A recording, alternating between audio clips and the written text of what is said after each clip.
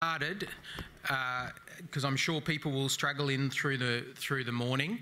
Uh, welcome back. I hope there's not too many sore heads from last night, and I congratulate you on making it here to both breakfast and the and the debate on time on a Sunday morning, a beautiful Sunday morning in my hometown of Brisbane.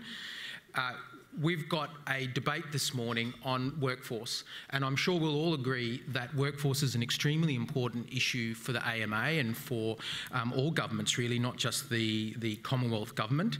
Um, and we've chosen a topic this morning uh, that will hopefully be uh, quite provocative um, and uh, instill uh, in you mixed feelings because uh, what I think our debaters have found is that as they've gone along, they've actually, whether it's groupthink or not, um, convinced themselves either way at different points in their discussions. And so hopefully uh, you'll agree that there definitely is um, some nuance to this, um, uh, to this topic.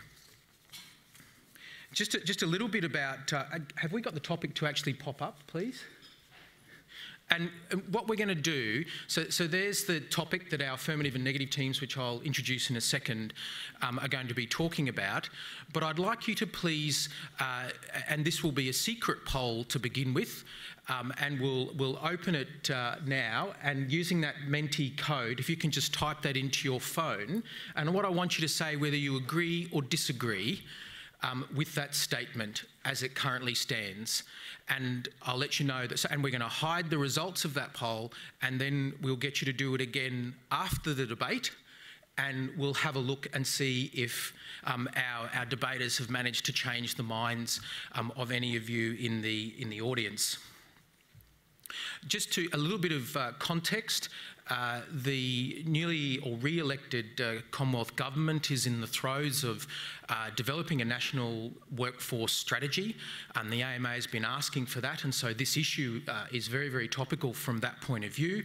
You'll be aware that we have excuse me, about 115,000 doctors in this, in this country as at the end of last year and of course that number is increasing quite, uh, uh, quite significantly. We've got medical schools that are yet to uh, have their graduating classes come online, and that's despite graduating 3,800 students um, in, uh, in, in, recent times. We all know that the maldistribution is a problem and market forces have not been uh, necessarily helpful uh, general practice is undersubscribed, and so clearly there's a problem there for two years running, uh, despite this high workforce uh, that, I, that I just alluded to. So there's lots of challenges.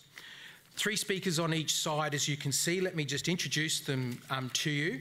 Uh, on the affirmative team, uh, going through them in order, the first speaker is Associate Professor Susan Neuhaus.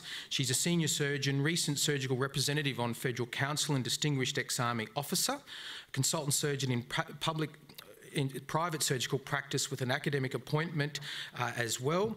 Um, she's appointed to the RACS Court of Examiners. Uh, Associate Professor Neuhaus contributes at the highest level in her profession as a clini clinician, academic and researcher with subspecialty expertise in the management of melanoma and sarcoma.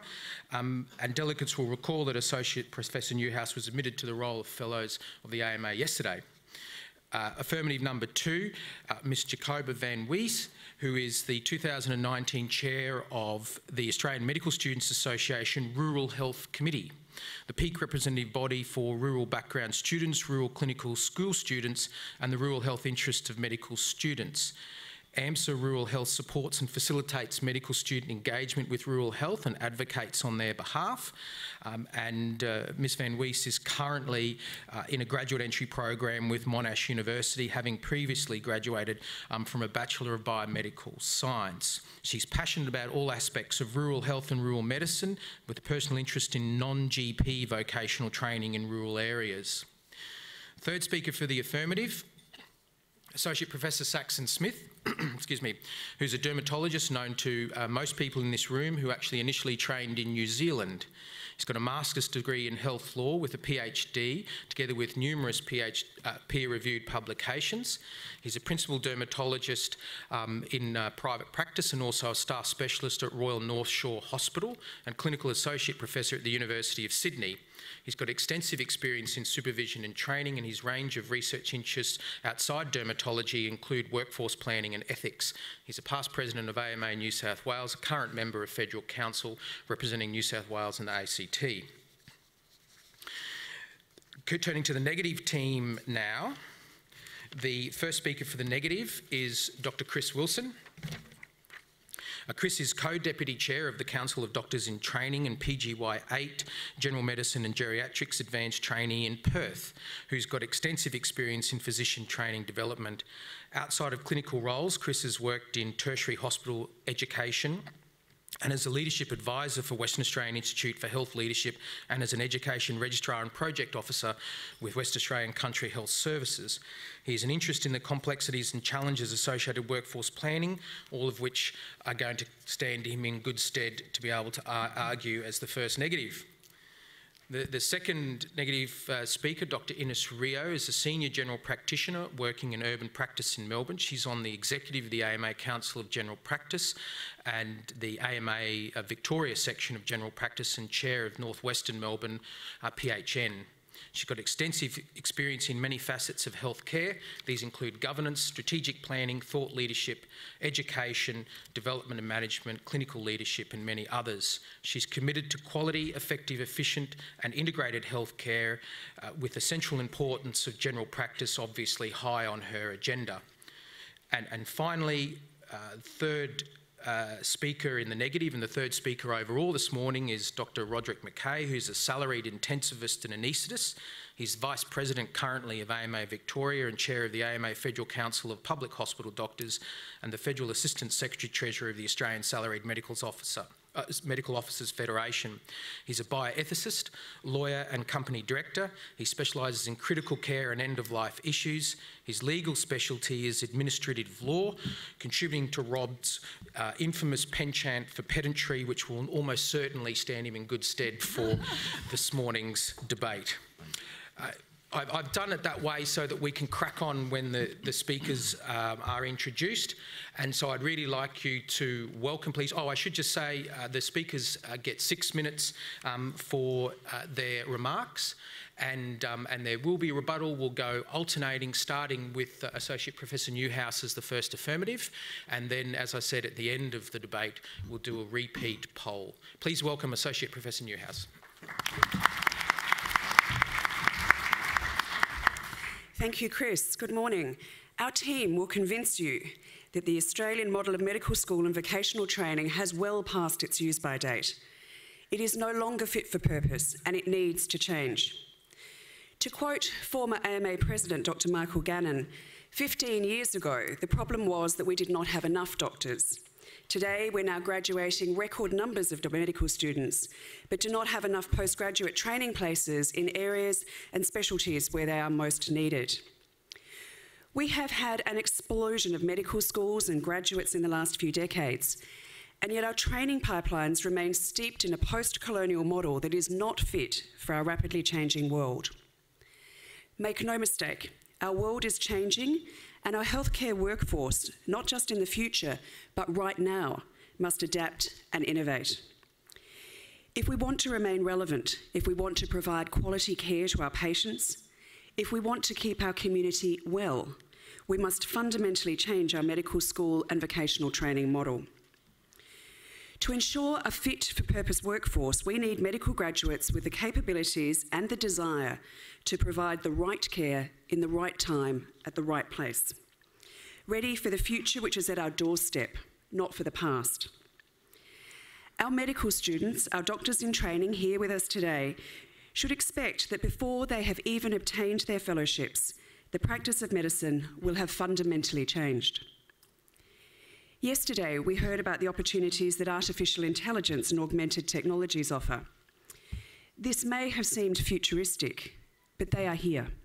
They are real, and they will fundamentally change the skills, training, and workforce needs over the next five to 10 years. A decade is a long time for a medical student or a trainee, and it should not be wasted. Doctors can spend years in resident level positions or unaccredited jobs, and yet many of the roles that we're training them for simply will not exist by the time they've made it through to the end of that pipeline. Patterns of disease are also changing dramatically. In my own career, operations that were bread and butter when I was a surgical registrar, such as dealing with perforated ulcers, are no longer or rarely performed. I know that my work as a melanoma surgeon means that I will become redundant in probably less than five years. Melanoma diagnosis by visual scanner and predictive algorithms are here already. There will soon no longer be a need for Saxon as a dermatologist or me as a surgeon to perform wide excision or sentinel node biopsy. Instead, a laser technician will ablate the primary tumour, a pathologist will recommend a checkpoint inhibitor, and neither surgeon nor dermatologist will be part of the treating algorithm.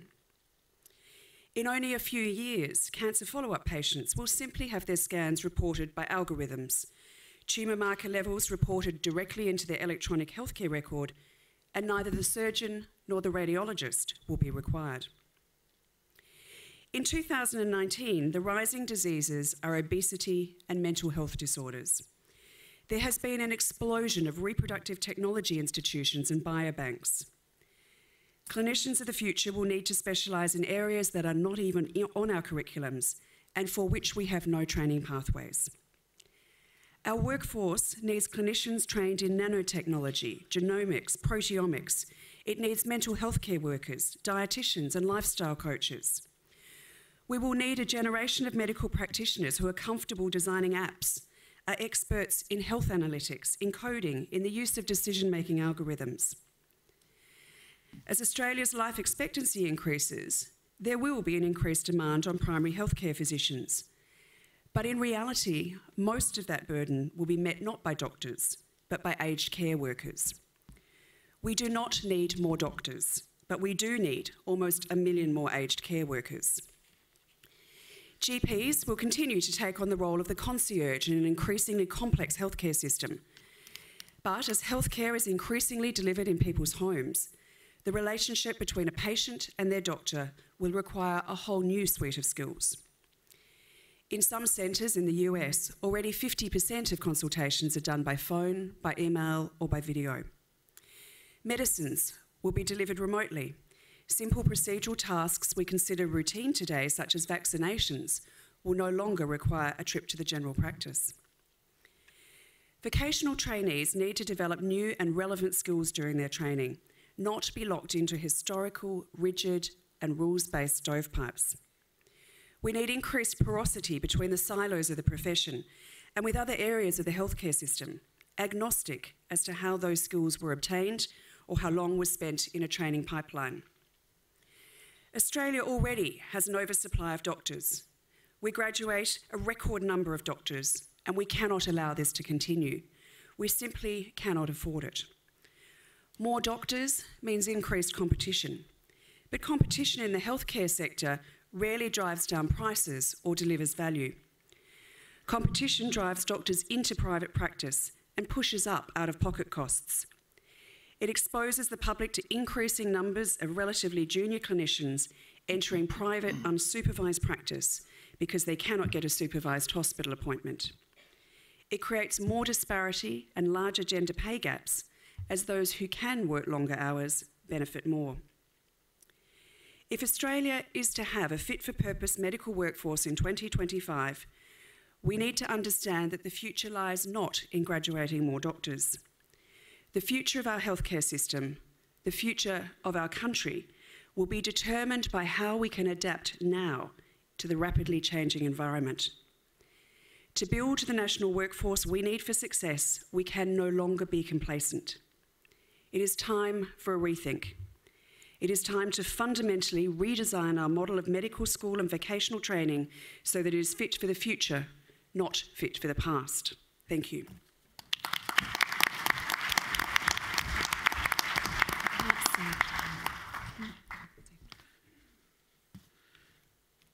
So the first salvo, Australia has an oversupply of doctors and the current model, model of medical school and vocational training is no longer fit for purpose in this context. The first negative speaker, please, Dr Chris Wilson.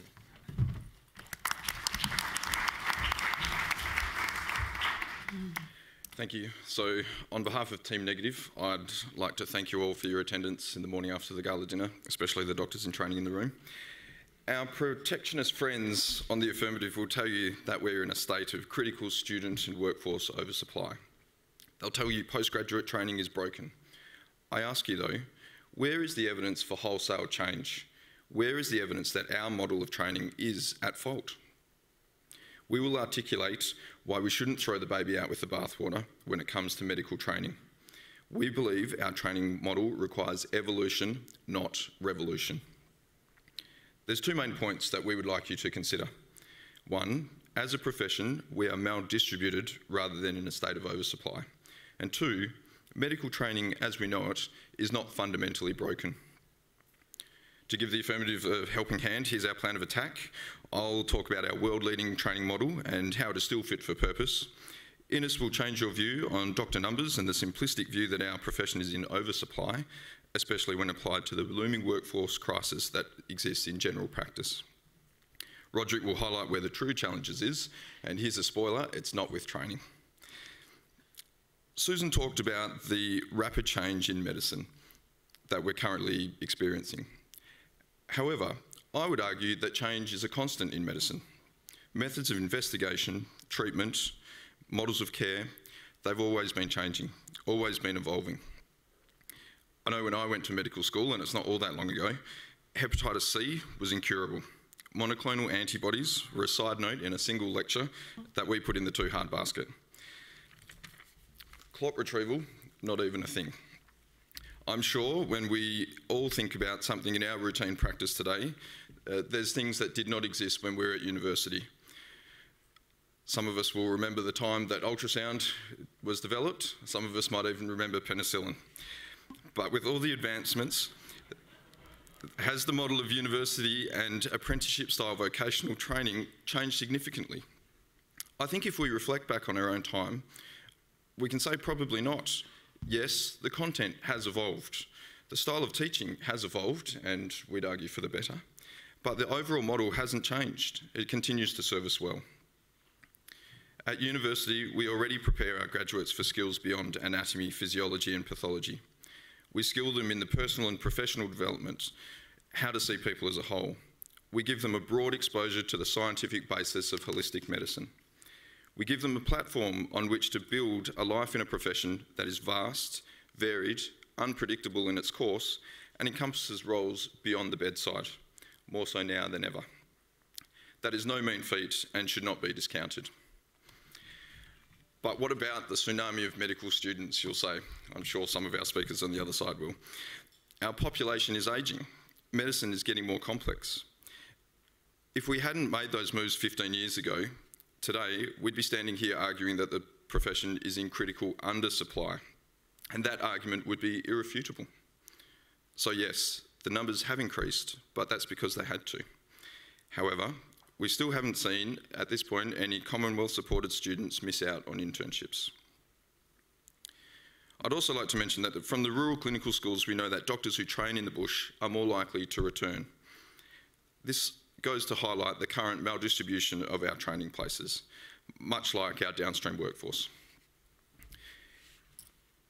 In 2015, the Wilson Feyer Internship Review was tasked with assessing the current model of internship and whether it remained fit for purpose. At the time, this, this association submitted that while there was room for improvement, the model was not broken. Thankfully, the reviews of the, uh, the recommendations of that review supported our views. The two main outcomes were that there was an opportunity to expand internship to include exposure to more of the patient journey, and from that we read primary care, and a suggested move towards a two-year protected internship with general registration after year one. And this is a proposal that COAG has recently agreed to. Already, we have programs around the country that offer access to primary care and in internship. What Wilson and Feyer proposed was an evolution of our current system. Likewise, the two-year internship simply ensures that the accreditation standards currently applied to interns and most PGY2s around the country will now be standardised. None of this strikes me as no longer fit for purpose. This is evolution, not revolution. Our college vocational training system is the envy of the world, as are our fellows. Yet we've heard this weekend that general practice training positions have gone unfilled for two years. Psychiatry in a similar position. How can we be in oversupply if there is vocational training positions going begging? Again, we have evidence of maldistribution. If we look specifically at general practice, The fix is not a revolution, but rather an improvement of workplace conditions, as again we've heard this weekend, and better workforce data to enable trainees to make informed career decisions.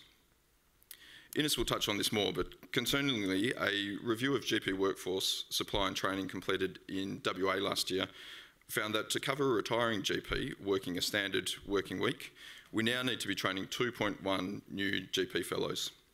And dare I say it, we might even be looking at an imminent undersupply of general practitioners.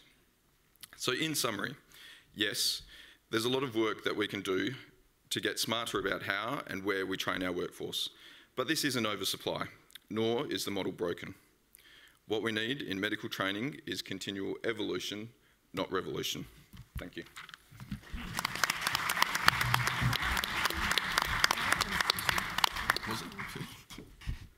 Thanks, Chris. Let's go straight into the second speaker for the affirmative team, Ms. Jacoba van Wees. Please welcome her. Thank you, Chris. Uh, so, a few points to address there from the negative. Um, but firstly, I'd just like to say, as the affirmative, first affirmative speaker rightly pointed out, there is a distinct lack of flexibility within our current vocational training model.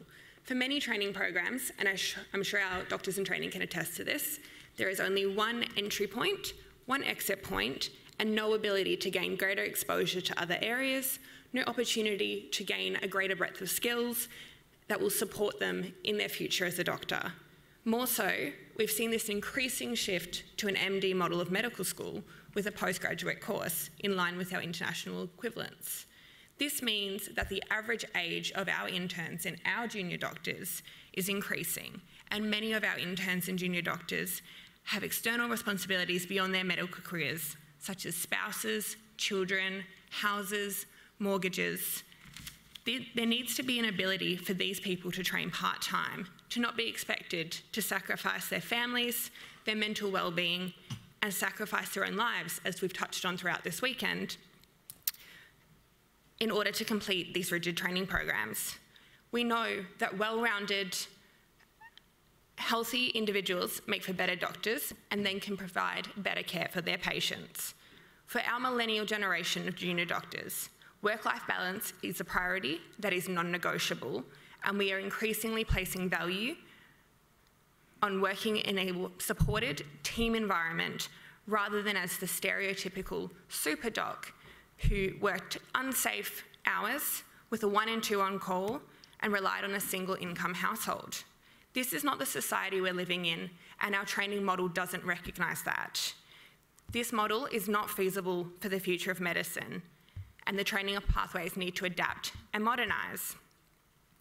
In regards to the oversupply of medical students, as a medical student myself, I can speak from my own perspective about the increasing number of graduates. Contrary to what the negative said, the evidence is irrefutable. During the period of 2008 to 2012, the number of registered medical practitioners increased by nearly 17% compared to a population increase of only 7%. Australia does have one of the highest rates of medical practitioners per capita worldwide, and this oversupply is funneling down to the most junior level, with the number of medical graduates having approximately doubled to up to 3,800 this year. As my opposition pointed out, they are correct in that at the moment, no domestic student has missed out on an internship place, but this is inevitable. The shortage of domestic internship places is looming closer every day, and unless we do something about it, it will be here tomorrow. Furthermore, increased numbers did not increase rural doctors. I would argue that maldistribution does not equal oversupply, but it does not equal undersupply. Maldistribution is a separate issue to our oversupply of graduates and needs to be addressed through our systemic issues.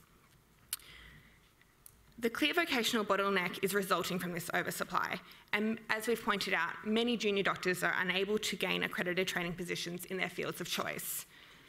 The negative might try to argue that indeed those training positions, positions are going unfilled, but this is not the result of not enough graduates. It is a systemic issue and it is multifactorial. It doesn't relate to supply and demand, but instead is the amalgamated effect of poor public perception, professional attitudes, wrongful devaluement, financial reimbursement, and poor medical school experiences.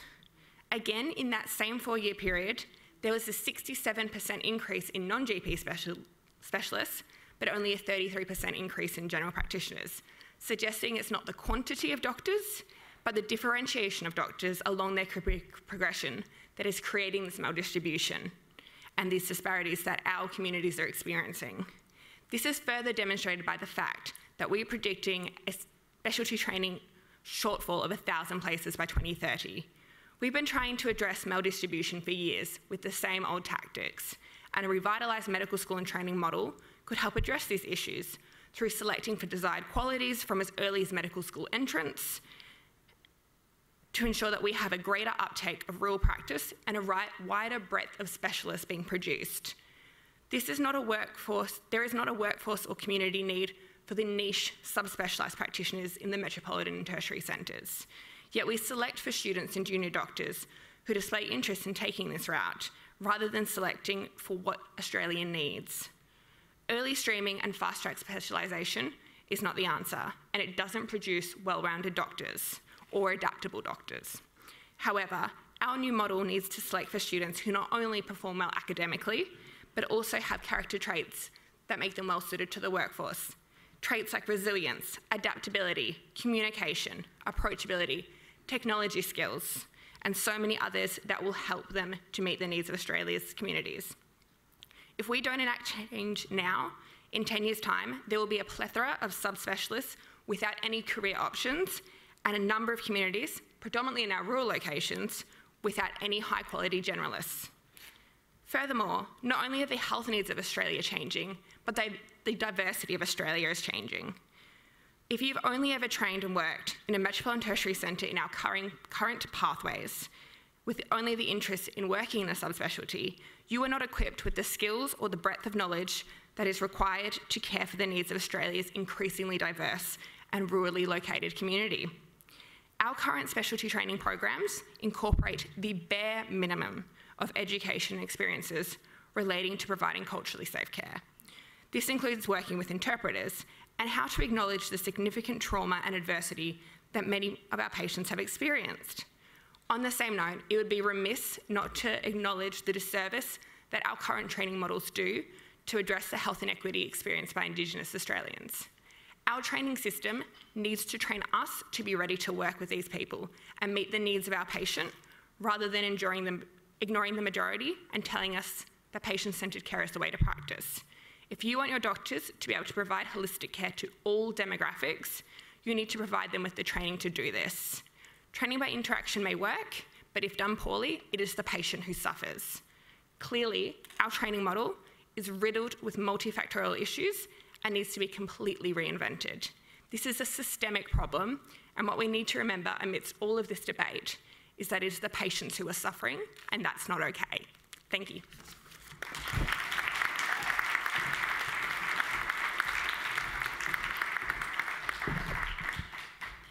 Anyone change their mind yet? Remember, at the end of the debate, we're going to ask you to vote again on whether you agree or disagree with the statement that we're debating here that Australia has an oversupply of doctors and the current model of medical school and vocational training is no longer fit for purpose in this context. Would you please welcome the second speaker for the negative, Dr. Ines Rio. Thank you, and thank you, teams. Um, just into response to some of the issues that were actually raised there. We actually have a fantastic training system because you can see it in the outcomes.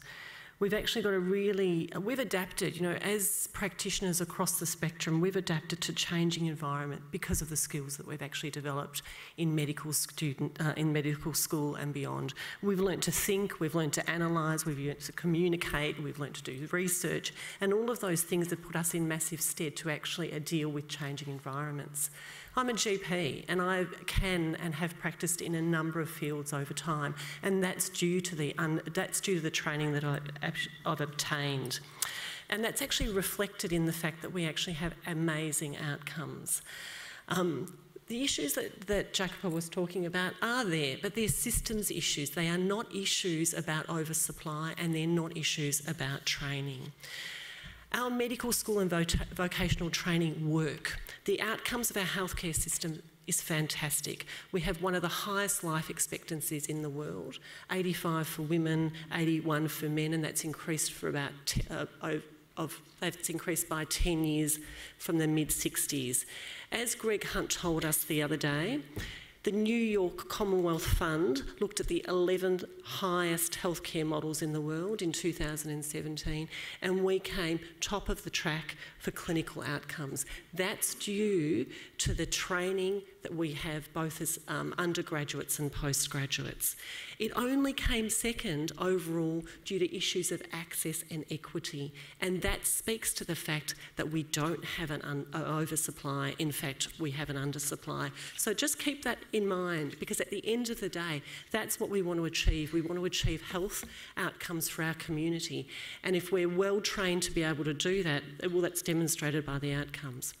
The other issue is that Australians love their healthcare system. Think of the whole Mediscare campaign, you know, at the last election. The patient experience survey by the Australian Bureau, Bureau, of Statistics in 2017 found extremely high satisfaction rates by people across the spectrum, which again speaks to the issue about how patients relate to us, across medical practitioner workforces. But what it also found was that one in four people waited too long for an appointment. Again, this is not about what we provide, these are issues of access.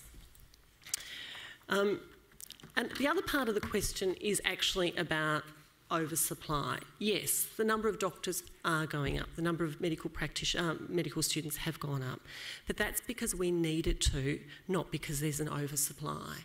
It's both about the need of the population and also about the way we work. There's more population. In 1960, we had 15 million Australians. Now we have over 25 million Australians. And the things that we do are much more complex, chronic, and there's just more stuff to do. We've got an ageing population, complex and chronic issues related to lifestyle, more complex systems that we have to actually negotiate um, and coordinate, and more patient and consumer expectation. Every week it seems to me, and it feels like me, to me, that we have more effective evidence-based interventions. Because I'm well trained, I can adapt to that. When I was a cardiology resident some 20 years ago, I remember my, um, my consultant at the time saying, gee, you guys have got to work with streptokinase now, it's so hard. When people used to have a heart attack, we used to give them a really nice view, a glass of whiskey, and they'd sit there for a month. And if you fast forward to now and think about all of the interventions and all the things that we need to do, the whole concept of grandma, or in my, my case, nonna, having a heart attack, oh, sorry, having a stroke, has actually got a completely new meaning to what it did 10 years ago. And as I was considering what Greg Hunt was thinking about the other day, was reeling off all of these new medications from the PBS for cystic fibrosis and muscular dystrophy and melanoma, I thought to myself, now how am I going to get that into my head and how am I going to incorporate that into my practice? And I will, and I'll do it very effectively, as will everybody here that needs to do it, because we are well trained, but it will take more time. And we work differently to what we used to work. Um, as evidenced by the updated Geneva Statement, we realise that to provide good care, we need to look after ourselves well, and it's very much what you said before. We don't want to work 20, 80 hours a week anymore, unsupported, few holidays, long and unsafe working conditions. We don't want to come back two weeks after we've had a baby. And we want to continue to learn. We want CPD, we want sabbatical. And all of that comes out in actually how we work differently now. The WA workforce data that um, Chris was talking about showed that in 2000 we needed uh, the full time service equivalent of one general practitioner meant it was 0.58. So one general practitioner worked 3.5 days per week. In the space of five years, from 2000 to 2015, that went down to 2.5. So one full time general practitioner worked 2.5 days a week face to face. So you need 2.1 trained GPs for the full time service equivalent. So we have responded to the issues of changing IR and very appropriately. In hospital IR um, um, contracts, it's about 20% of non face to face. And certainly in my work as a GP, I would spend 20 to 30% of my clinical time in non face to face issues, writing reports, reviewing what I should provide patients, checking results, coordinating care. I'm sure it's the same experience around the place. And as we have more doctors, older doctors that are leaving, we actually need more of a workforce to take that up. Plus, we don't just want doctors doing face to face work. If you look around and think about the skills that you've obtained and the people that you know, we want doctors in places that aren't just about direct clinical care.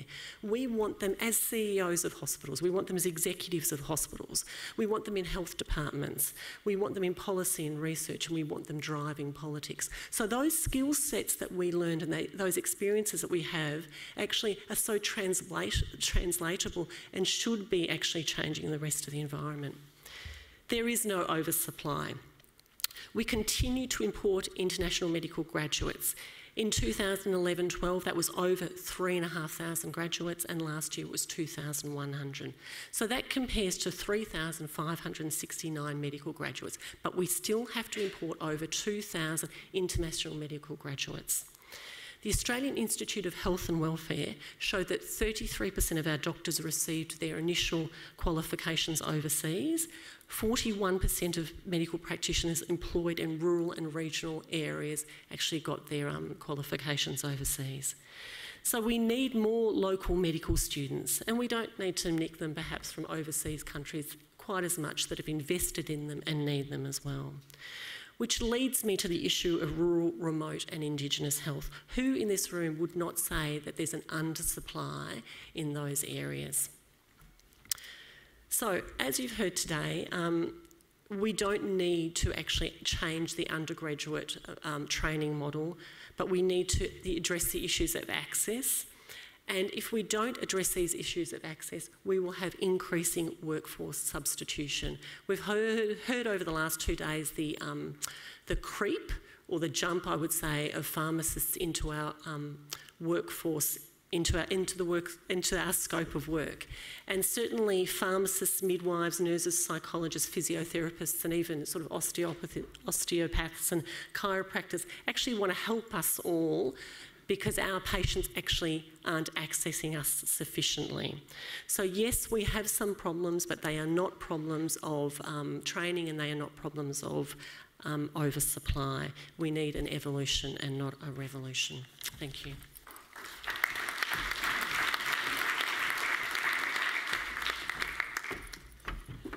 Ines, I'd have been almost disappointed if we didn't drag the pharmacist into the debate as well, so thank you for that. We, there will be time for discussion at the end um, after all the speakers have have uh, have spoken and we've given our verdict on the on the debate. So prepare your thoughts and comments.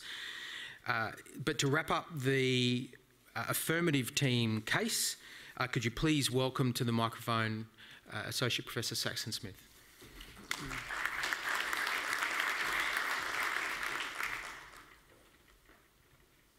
Friends, colleagues, those out in the Twitter sphere. Let's come back to reality. Let's put aside the nostalgia, this past of beautiful, perfect rose tinted glasses that our opposition is so desperately trying to paint for you. Let's come back to the reality of today, but more importantly, the future. The future for the profession, the future for health, and the future for our country. All too sadly, we are putting our egos in play where we think that we need two people to replace us as an individual. Are we that self important as key person dependents that we think that we can just go, well, two people for me, that will be about right? The reality is, it's not about us as individuals. It's not about us with our egos. It's about how we can do things better. We know that there's technology out there uh, which will actually mean that you can treat 17 to 15 patients in the first two hours of your um, day to day via connecting through internet, via apps, etc. We know there's a colleague in the room, that he's actually not in the room, and he will be taken up with that later. But there's an app which, through his general practice, he's able to monitor through the, uh, the Bluetooth technology of the weight scales, the blood pressure monitor in the patient's home, that feeds directly into their iPhone which then connects to their health record in his practice to watch are they getting fluid edema? Do we need to put up their furosemide? And you can stream that in a better and more consistent way. And that's monitored not only by the doctor, but the whole healthcare team in his healthcare hub. They can also liaise with um, this technology. Please Google it. It's called Pillo, P I L L O. Somewhat scary, little funny looking machine with this little face that's almost humanoid but not quite. But essentially, it's your health home hub. It will distribute and dispense your medications. It automatically in, inter, you know, connects to the internet to provide that health information and, more importantly, to your loved ones when you miss your medications and to your doctor. They don't have to come to us. They don't have to line up and wait in a waiting room. They don't have to get the flu before they get the flu best because they're waiting in that waiting room. Instead, they can have most of this technology done from home. We're able to intersect with them. We're able to provide that concierge sort of service that my first speaker was uh, clearly enunciating. Now, sadly, the first speaker for the negative is showing a clear indoctrinated think or group think that comes from recent university graduation. Now, universities are training institutions. By institutions, I mean big buildings, very slow to move, very hard to negotiate with. And we all know that as soon as you have that new textbook that you have to buy each year, that was outdated five years ago. I know that because I've just written a new chapter, and sadly, I have to write it again. But these things happen because technology is evolving into such a pace that the old style doesn't work anymore.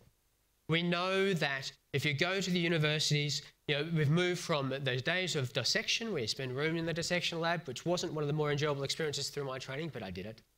We moved to prosection because it was just easier to have more students around a smaller kind of thing to, sh to show them as opposed to interacting with them. And now increasingly it's even hard to get access to that prosections, so they have to completely relearn their anatomy before they sit their surgical exams or before they fit, sit their physician exams or their uh, emergency medicine exams. They're not getting the training that they used to have. And that's not a rose tinted sort of view, it's a practical reality. There are more people, there are more students contending for that clinical exposure. And you know that gaggle, that, that classic sort of stream as you walk down, you know, whether it's in house or if you're older like me, in ER, you know, those are the days.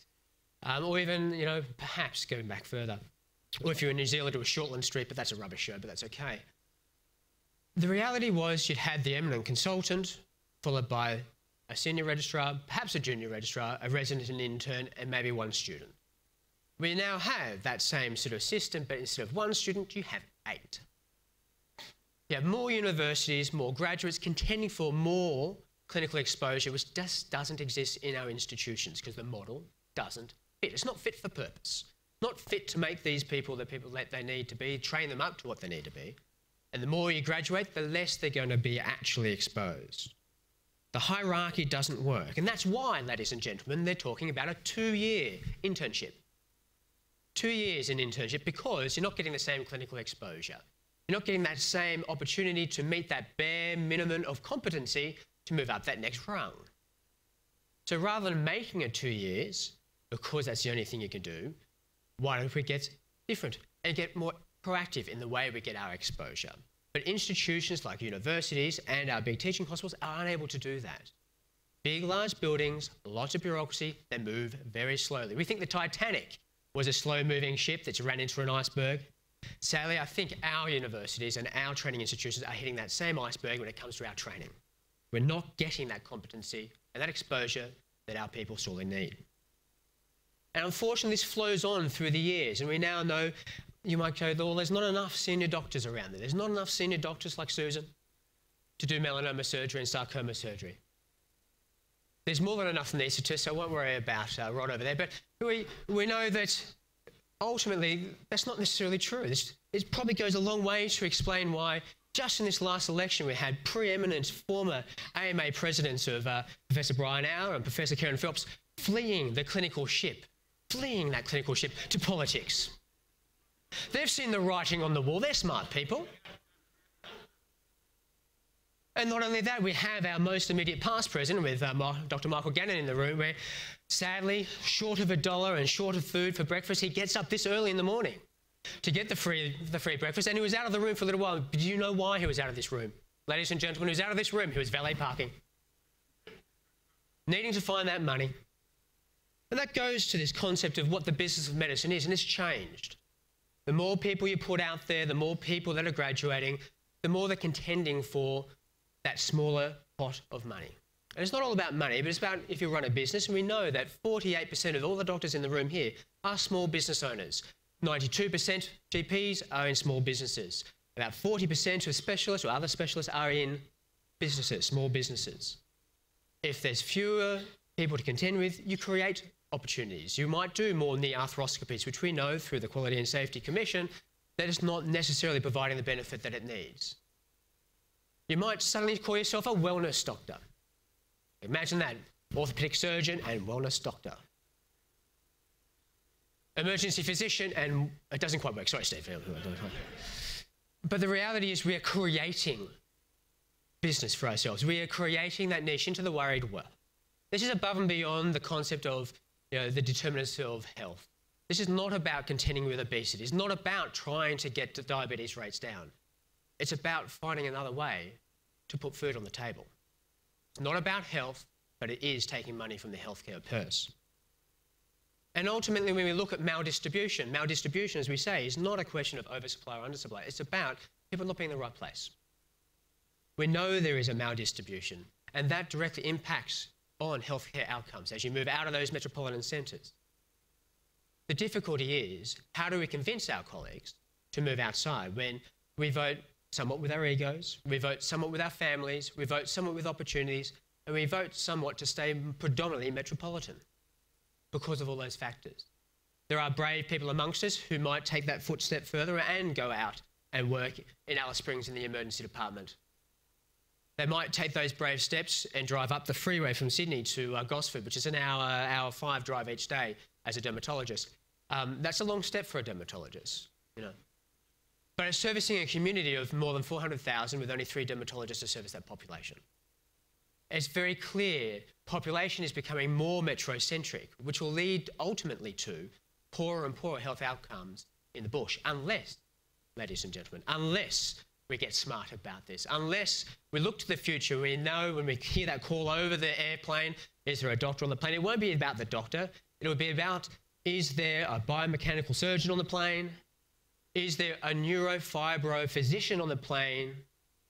Is there a pharmacogeneticist on the plane? Are we going to be smart? Are we going to use our workforce properly? Are we going to achieve and maintain the best outcomes in the world by being better at it? Thank you.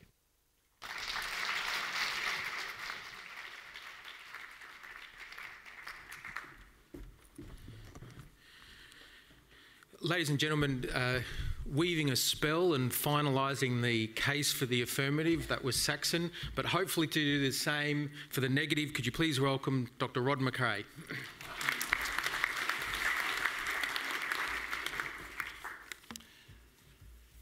Thank you to the adjudicating audience. The concierge nods hello to a patient entering hospital. Uh, an hour later, he sees the same patient sprinting out of that hospital. Uh, so he says, What's going on? Uh, he, he, gets told. Uh, the nurse said, There, there, it's a simple operation, nothing should go wrong. And the concierge says, Yeah, but I'm sure that was just trying to be reassuring. And the patient says, Yeah, yeah, sure, that's fantastic. But the nurse was talking to the surgeon. Now, the affirmative would almost have you believe that Australian medical practitioners are demoralised, poorly trained, oversupplied, and have no future. Yet nothing could be further from the truth. We're not doomed. To Dr. Neuhaus, we say the about decade training, which just about every university graduate does, irrespective of their faculty, and actually which looks nothing like medical training from even 10 years ago, is not wasted. We thank her very much for her wishful thinking and point out she admitted to mention the magic pill that's on its way, courtesy of the Star Trek movie where you can regrow a kidney. The question that we really want to hear answered by Dr. Neuhaus is what are the numbers on Saturday? We heard about artificial intelligence. Yesterday we heard some of the issues. The computer says yes, autonomic bias, automation bias. The real risk is what are we analysing anyway? Is it based on the useful, relevant population compared to a medication trial in healthy 40 year olds, but you actually give the pill to unhealthy, complex illness patients who are 80 years of age? Secondly, what's going on inside that black box? We've got the example that we heard yesterday, very concerning, about uh, the artificial intelligence analysing to read the word cancer on the chest film. Or what about the snow in there? It's a wolf. And yes, it's happening. It, we're modifying stuff. It's the nature of activity of clever people, which is what medical practitioners are. Transforming, but not eliminating the work of those necessary humans. Frankly, the real rub's going to be the cost. We, we know that. You've seen how people behave over a couple of hours of overtime what on earth is, who on earth is going to make the decision and control which of the 250 absolutely mine is the best unit to do what and how will it talk to other things? So we understand that there are tweaks, there are things going on, but this is why we continuously do continuing medical education. To Ms Van Wees, thank you for the facts that you've spoken. Uh, have you spoken to a legal graduate or really graduates from any other faculty? They've got one entry, one exit, no jobs. Thank you for explaining why we need to further increase medical student numbers to prudently fill the gap as you and your peer group go to lunch. Yes, rural shortages do exist. There's a system issue, but it's not a training issue. It's, it's changing. Bonding, the bonding program, analysed, researched, it's being tweaked. And that's exactly what we want to do. Dr Smith. Yes, it's the patient. I didn't hear the word, but it is about the patient. Haven't you, but haven't you heard of technology failing, not working? Privacy, hacking, false data, glitch, error. It'll be a well trained doctor who's become familiar with that environment interpreting, and we're going to need more of them. So, we have presented to you uh, oh, the health minister presented to us, in fact, that um, in his video, that Australia ranks number two for its global health system and number one for clinical outcomes on its $181 billion, 10.3% of GDP expenditure. Clearly, something is going right. It's not a bad place to start with the assumption that the healthcare we are delivering is the healthcare the community wants. We can't disagree with the fact that a 5.5% per year increase in medical graduates exists, but that just reflects the increasing entry into university of the population uh, who are themselves attending university. Dr Wilson showed how Australian medical schools produce the highest quality, in demand medical graduates with a broad exposure to and an evidence based scientific, holistic comprehension of physical and mental health producing practitioners providing safe, independent, ethical practice. The, um, this means that the second limb of the question is just wrong. What we need is evolution, not revolution. Dr. Rio carefully took you through from a satellite view how we do not have an oversupply of medical graduates, making the first limb of the, of the question wrong. What we need is evolution, not revolution. There retraining position vacancies, so ipso facto, there cannot be an oversupply of doctors. We emerged from a critical doctor shortage in the 90s, never to be repeated. Dr. Rio pointed out our doctors are changing, including their expectations from their work. So did Ms Van Wees. The Declaration of Geneva, as amended from time to time, doesn't state, I'm going to work non stop. In Chicago in October 2017, the amendment, as we recited on Friday, reads I will attend to my own health, well-being, and abilities in order to provide care of the highest standard. There is a change and expansion to a growth mindset and resilience training versus the past, perhaps dangerous, fixed mindset concept of training. It's happening. Competition is good to bring out the best in people. By nature, there will be some disappointments, but in finance, not everybody can be the CEO of Macquarie Bank. Put simply, more medical practitioners are required to cover increasingly complex patients with increasing expectations. There is no oversupply. There is no silver bullet, whether it be the NBN, if it works, and for what, artificial intelligence, or the next big idea. Medical practice will be different, transforming incrementally, but led by doctors. It is evolution, not revolution. Our argument is that there is no oversupply of graduates, there is an undersupply of coordination of the fabulous currently available transforming training systems that exist at all stages of medical practice. There is maldistribution, but that is not equivalent to oversupply. To channel Bill Clinton, it's the bureaucracy, stupid. There's a disconnection on a national issue, but the Commonwealth government has, government has no power to force anyone to do something. 20% of legal graduates don't practice law. Is it so bad to permit spillage of medical graduates into areas beyond medical research and medical teaching?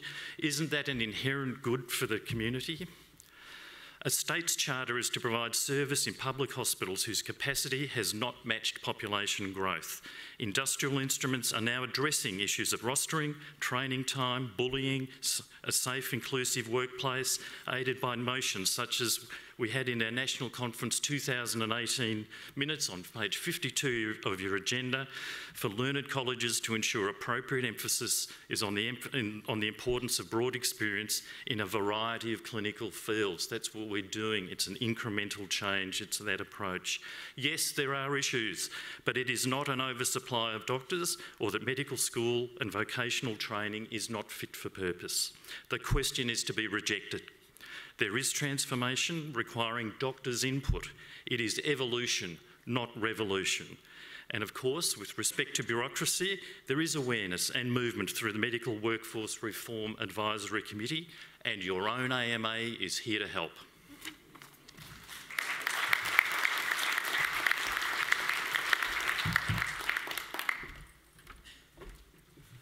Thanks very much, Rod. All right. Get your phones out. Can we pop the, the, the poll open, please? Put the, put the code in if you haven't already. And I just want you to agree or disagree, please, with the topic of the debate, which you can see um, up there on the board. And if we can open that up.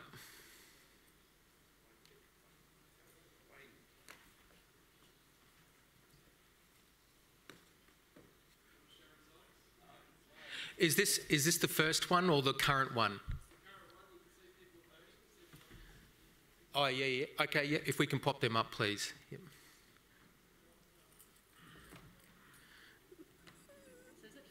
This is, this is the current vote, is it? Yes, thanks, Phil. So this is the current vote. And then in a second, we'll put up the pre debate vote.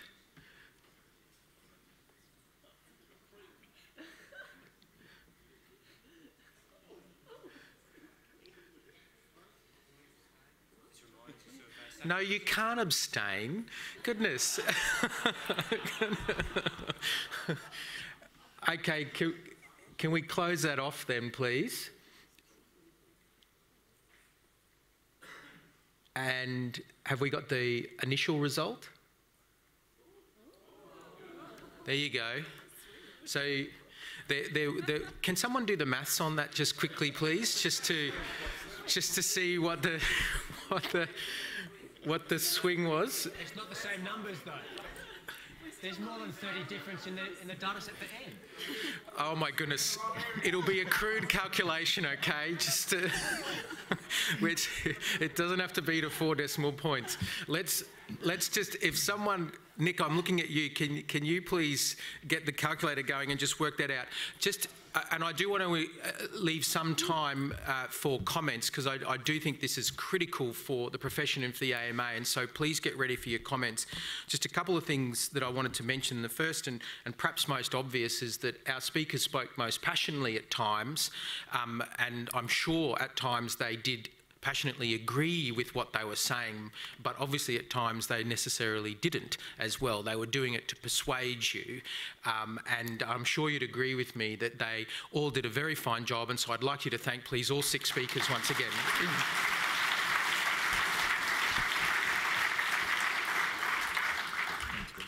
So we, th- there are a number of themes here, and uh, as we all know, as I said, there's a national medical workforce strategy which clearly is going to need to be nuanced and very carefully thought out. There's a there's a need for workforce data, which we've recognised for a long time. Uh, some of the other themes that we need to be better as a profession at helping medical students and, and junior doctors make, make vocational training decisions, and clearly the AMA has a role there. Flexibility and improved training. Uh, opportunities uh, are important, embracing technology changes, etc., uh, are important, and of course, of course, uh, dealing with the maldistribution problem. Um, so I just wanted to ask if there's any comments that people wanted to make uh, or queries or concerns uh, that they might want to just say to the room or to direct to uh, any of the panel members. Was there any comments? Do you pop up to a microphone, please?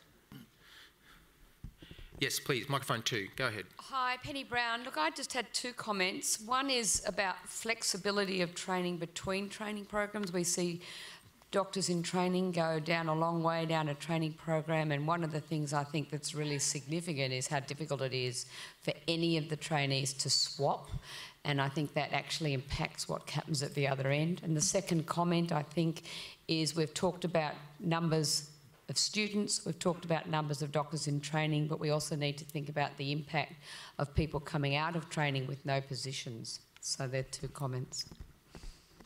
Uh, thank you. We'll take one more from microphone two, and then we'll.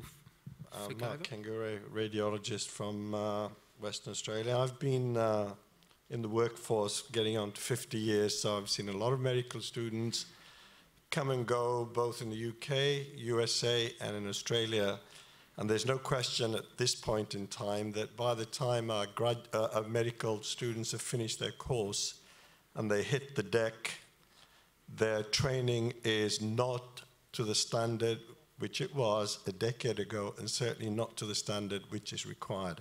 And part of that is that training has, the numbers have increased, but the trainers have not been increased, and the ability for the trainer to provide the same sort of supervision, same sort of exposure, same sort of discussion just doesn't occur purely because of the volume. Thanks, Mark. Dr. Hodge from uh, Brisbane. Uh, Chris, Rob Hodge.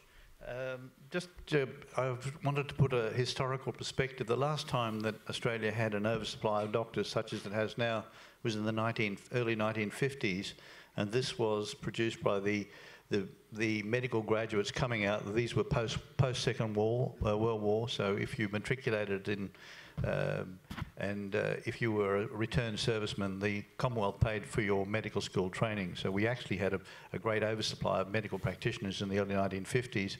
Because there was no Medicare, then there was no problem with rural and remote uh, practitioners. So every small town in Australia virtually had a medical practitioner because they couldn't. There was no Medicare. They couldn't sit at, on the in a bulk billing clinic at, in, uh, at Broadbeach and earn an income. Um, if we fast forward then to uh, that, that oversupply actually took till 1967 to actually dissipate. Uh, in, uh, when Medicare was introduced in February 84, uh, the, uh, Neil Blewett, who was the health minister at that time, uh, introduced this system so that ad, overseas medical practitioners were advantaged and therefore we had a a huge influx of overseas medical practitioners into Australia to uh, so that the doctors in Australia wouldn't bill their patients. Remember, they, the, the Labor government at that time, which the Hawke Keating government wanted uh, the, as many people as possible to be billed. Fast forward again to 1996 with the Howard government, and the, the health minister at that time was Michael Wooldridge. And Michael Wooldridge made it very plain that he wanted doctors to actually gap. So he wanted to people, the doctors to charge, and he wanted to reduce the amount of bulk billing, uh, and that's why he introduced the uh, restrictions on provider numbers, etc., that were so uh, despised by the by the junior doctors at that time. In a, the uh, he uh, introduced the uh, AMWAC, the Australian Medical uh, Workforce Advisory Committee, and that was chaired by Professor David Theile, who was the previous president of the RACS. Um, the AMA lobbied successfully the Prime Minister, that was uh, John Howard, to against the wishes of, of Michael Wooldridge in the year 2000 to abolish AMWAC, and that's why the universities were allowed to loosen up and produce the and, and produce this current um, tsunami of medical students. And for those of you, look, I understand, I thought it was a brilliant debate. I thought a lot of you, the speakers were great today, but the real problems are that I'm a tonsil doctor and that 20 years ago, I would have had 20 applicants, really good applicants for, let's say, 16 registrar positions Australia-wide. In this most recent thing, we've had 70 really fantastic applicants for 16 positions. And that's really the problem, that uh, we have the, the students that are being produced are of wonderful quality. The young doctors are of great quality, they know so much, but we don't have the positions for them. And that's really a problem, and I'm very pleased that the AMA is now, if you like, going ahead and saying we wish to have a position now where we do have some restriction or, or at least advice that the government will listen to about medical student supply. Thank you. Thanks, Rob. Uh, thanks for that. We're, we're not going to get through all the comments, but we've got time for a few more. I promise I'll come back. But one more from Dr. Microphone one, Dr. Sean Rudd. Uh, Dr. Sean Rudd, general practitioner from Northern Ireland. Um, I think one, one it was it was very important for me, and, and, I felt very privileged to to get to medical school, and I felt very privileged to become a doctor. But I soon realised there was an oversupply of doctors in Northern Ireland. So don't be frightened of that. Do what I did in 1987. I came to a third world country and I helped you out.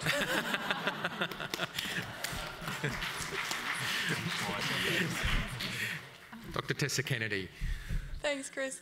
Look, I, I find it difficult going through um, the arguments of the debate. I think we get a bit tangled up putting together these two issues of um, over undersupply medical students and also the problems of whether our vocational training pathway is or pathways are fit for purpose. To me, they're two quite distinct issues in some way, I think the over undersupply of grads is almost a bit of a moot point, as surely the best measure of whether that is the case or is not the case is whether you end up with the doctors in the right places, in the right specialties, meeting community healthcare needs. And there's a big lag between med school and that happening. And so I think we're, you know, looking at our grad numbers and we have a long kind of lag period where a whole lot of things can happen, including all these, you know, overlays of whether people work full-time, part-time, etc., um, to sort of determine numbers in at the beginning of training pipeline to numbers needed to come out. To me, the much more interesting and compelling or, or, or, pressing problem to really be addressing is that one of whether the training programs that we have are fit for purpose. We've got clear geographic maldistribution and we've got clear specialty maldistribution with loads of aspiring surgeons, ENT or otherwise, and we've got complete um, you know, lack of people wanting to go into GP and, and psychiatry and other underserved specialties where there's immense community need. There's no pre-vocational experience in these community settings, which is probably a huge um, a lost opportunity. And we've got all these people going funneled into unaccredited limbo land, creating huge problems for trainee wellbeing with no guarantees of progression in the specialty training space. And we need to, I think, um, consider how we match and direct the training that we're providing to community need a little better. Thanks, Tessa. We've only got time for, for one more, and uh, I'll take Simon. Um, Look, thanks very much. And uh, obviously, the whole situation is a little bit more nuanced than the uh, debate headed. Um, I think we do have to recognise that doctors are expensive, um, and uh, we also have the ability to create business uh, for ourselves in situations where there is oversupply. So it's actually really important that we get it right, and we have to plan a long time ahead. Um, but I think that the elephant in the room, and it was alluded to, is we have to balance this against the number of doctors we're bringing in. If we're bringing in almost as many doctors as we're training, then surely this whole debate, and I know that this is being looked at by the AMA as, uh, as well as government, um, the balance between doctors we're training and doctors we're bringing in.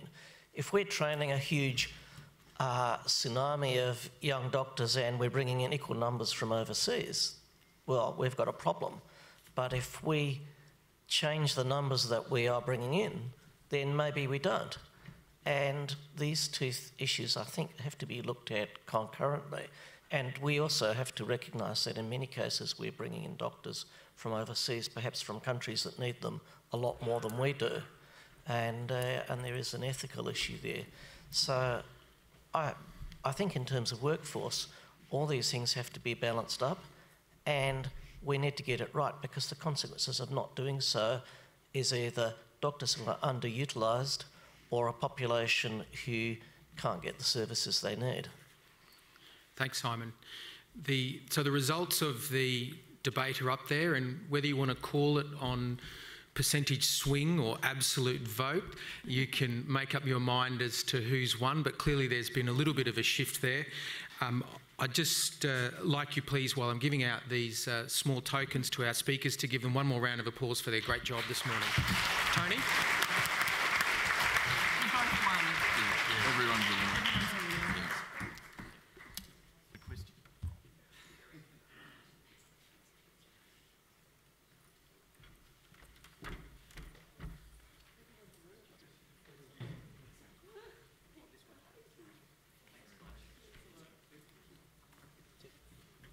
Yeah, that's right. we can.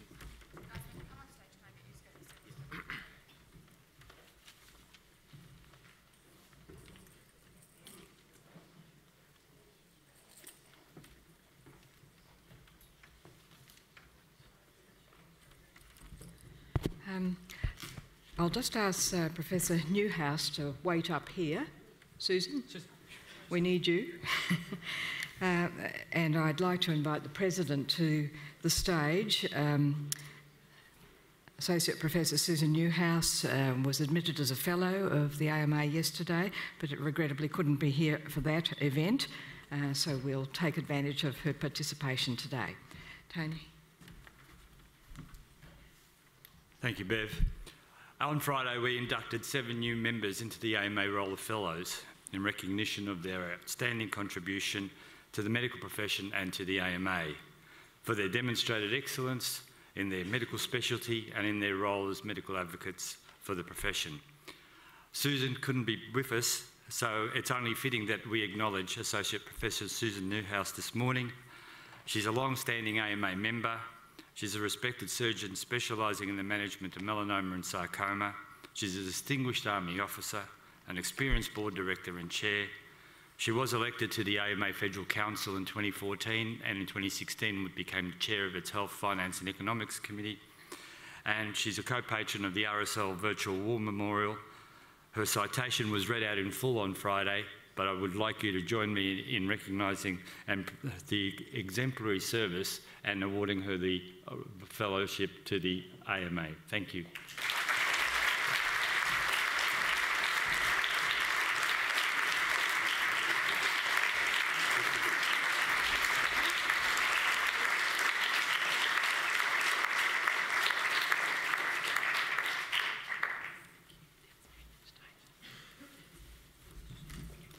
Thanks for that brief indulgence.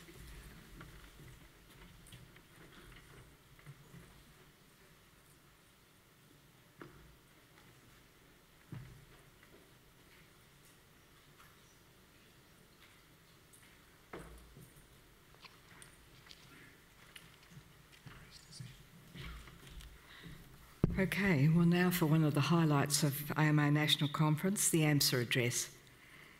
And I'll invite uh, Miss Jessica Yang to make her way forward. It takes a while, Jessica. Keep walking. Uh, we've got a few obstacles in your, in your way. So, uh, Miss uh, Jessica Yang is the 2019 President of the Australian Medical Students Association, AMSA, the peak representative body for Australia's 17,000 medical students. AMSA connects, informs, and represents students studying at each of Australia's 22 medical schools by means of advocacy campaigns, national events, community and wellbeing projects, and publications. AMSA is a volunteer run organisation with a team of over 500 medical students overseen by a national executive and a board of directors, so that's AMSA.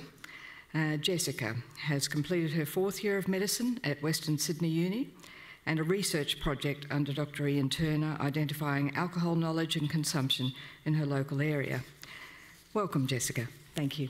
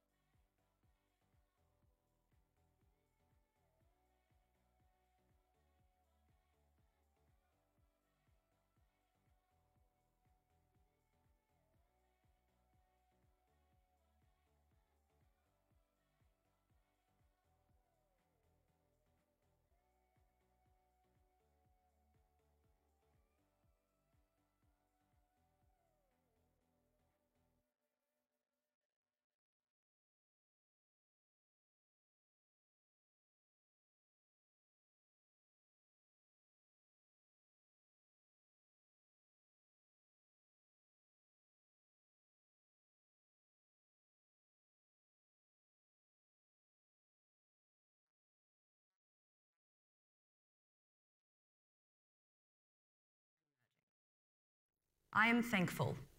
Thankful for the AMA for the opportunity to speak here today and for their ongoing support of AMSA, which is helping to shape the next generation of doctors.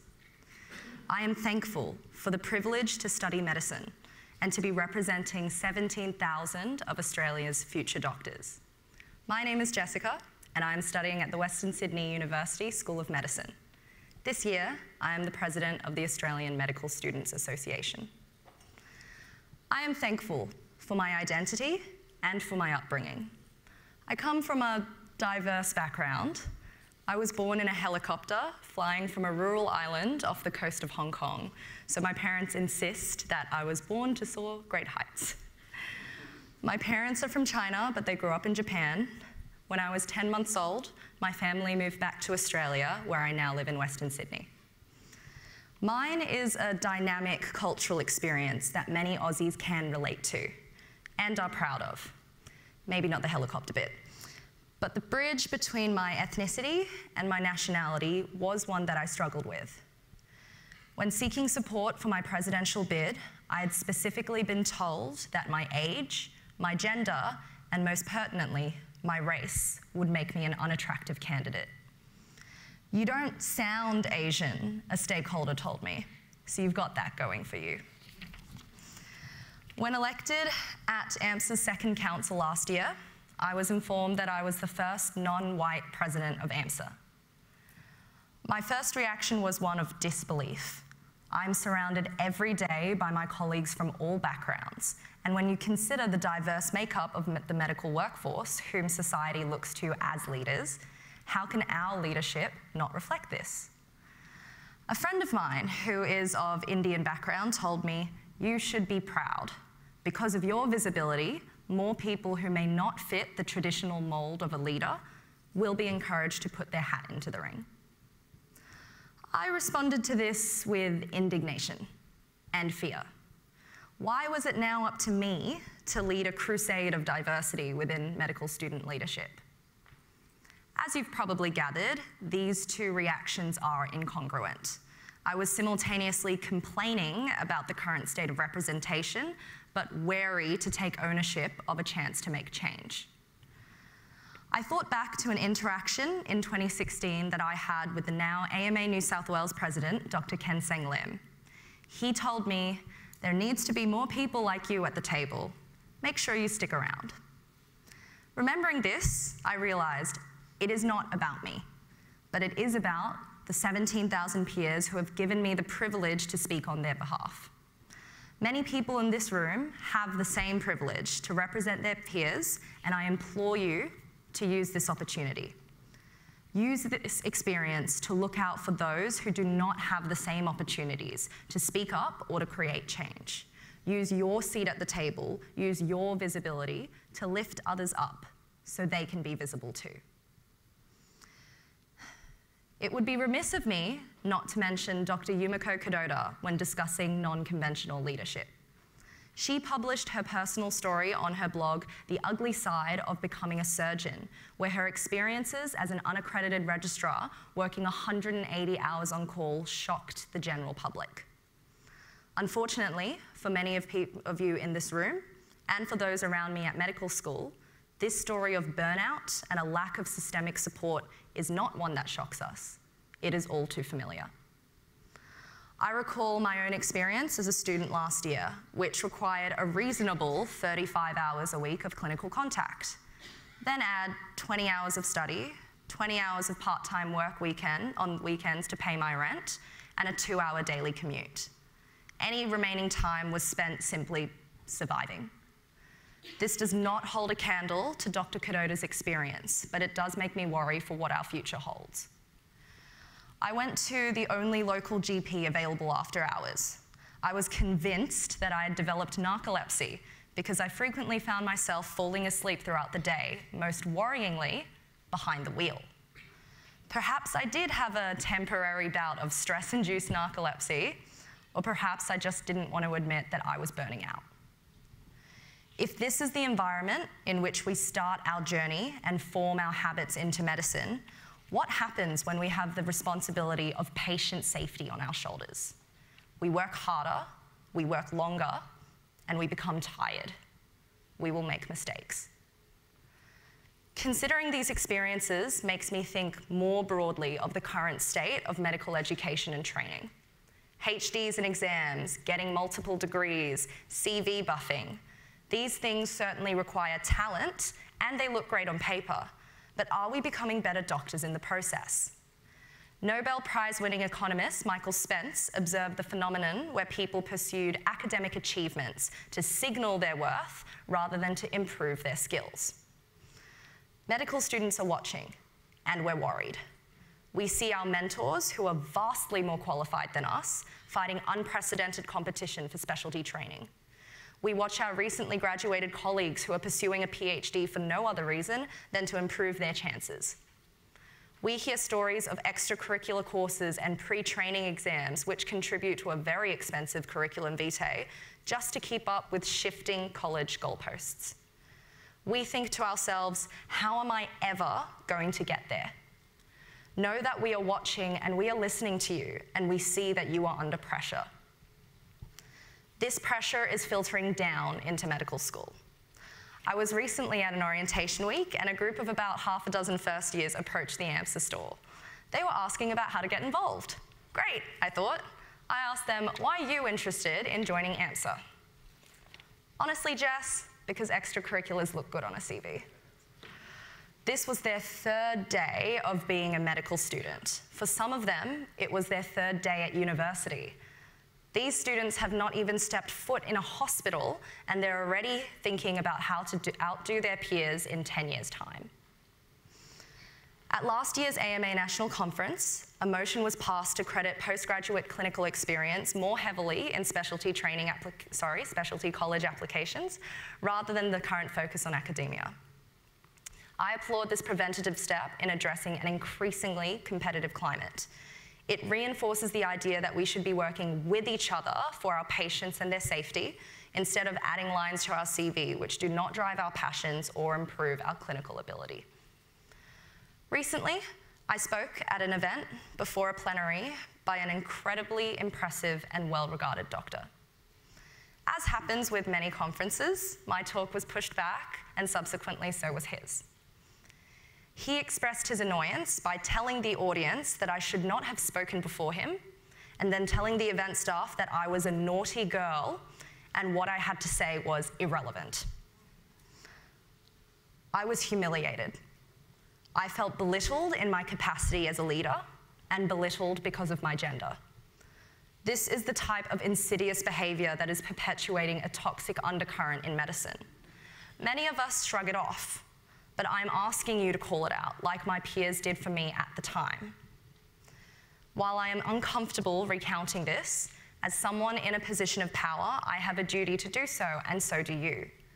We should empower those who are belittled and disregarded as unimportant, because that is how to best drive change.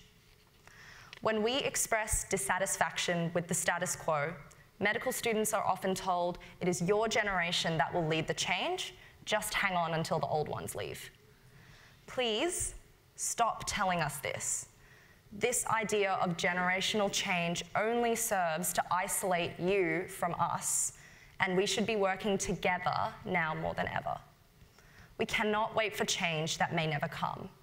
We cannot change if we continue to advance into a system that disengages us and makes us cynical. This conversation is not new to anyone in this room. We've heard these calls to action over the weekend and even over the years from my predecessors. I would urge you to reflect on your time in medicine. What made your life better and what challenged you? What was the worst thing that happened to you as a student or a junior doctor, and how can you stop it from happening to someone else? The medical profession can do amazing things when we stand together for a common cause. Last month, AMSA was accepted as a stakeholder at the United Nations High Level Meeting on Universal Healthcare. This incredible opportunity for international advocacy was only made possible by the tireless work done by hundreds of medical students who volunteer their time for AMSA and for our community as a whole.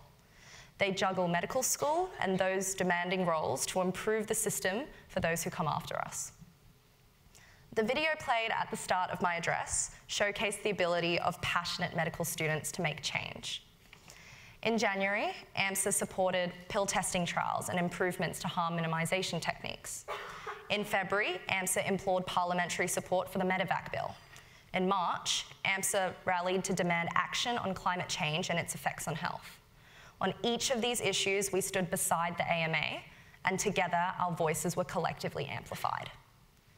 These are the issues that your future members want to see you fighting for and need your support on. And I'm very thankful for Dr. Tony Bartone for being so supportive in our advocacy efforts and for actively welcoming me to the leadership table. I've touched on a lot of different issues today, which all come back to a fundamental need to change the status quo.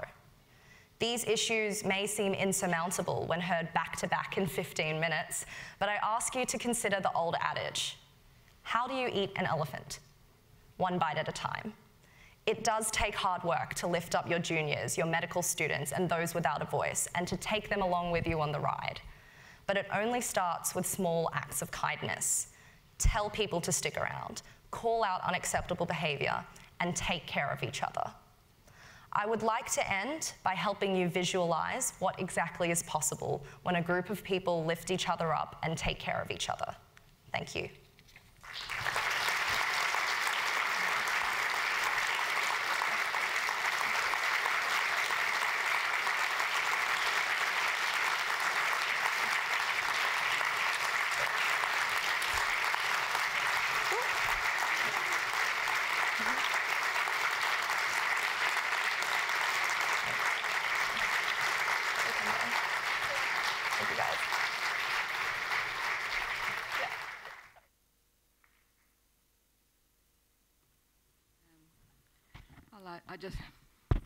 asked Jessica to, to stay on the on the uh, podium so we can all see her for another couple of minutes. Thank you, Jessica, on behalf of all of us.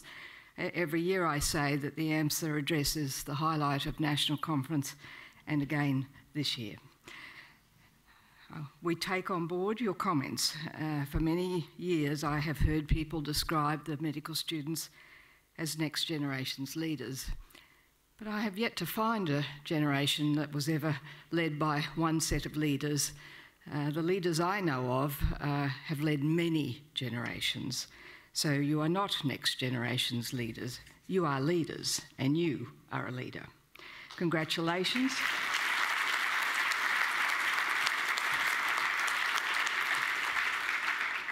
On behalf of all of us, congratulations on your achievements in office and on a splendid address today.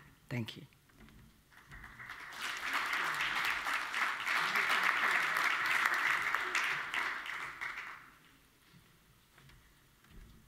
Right, that completes this morning's programs. Uh, could you please register for the soapbox, um, anybody who has something to say, with Cindy, who's at the uh, desk at the left here. Um, and we'll see you back here at 11 uh, Uh, for that session. Thank you.